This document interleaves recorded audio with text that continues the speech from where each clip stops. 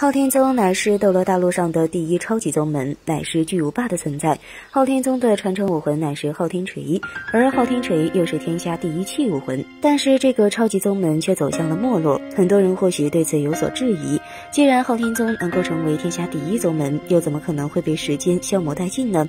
按照道理来说，昊天宗的未来光明无比，有两大高手鼎力相助，再加上唐三也已经成神，昊天宗应该流传千古。可惜的是，唐三对昊天。天锤并不是很看重，唐三虽然并不依赖昊天锤，在第一部小说内被称之为最强武魂的昊天锤，在后续小说内连登场的机会都不曾拥有。各大神级武魂争相斗艳，昊天锤失去了属于自己的色彩，没有长盛的宗门，也没有长盛的武魂。说白了，一切都是过往浮云。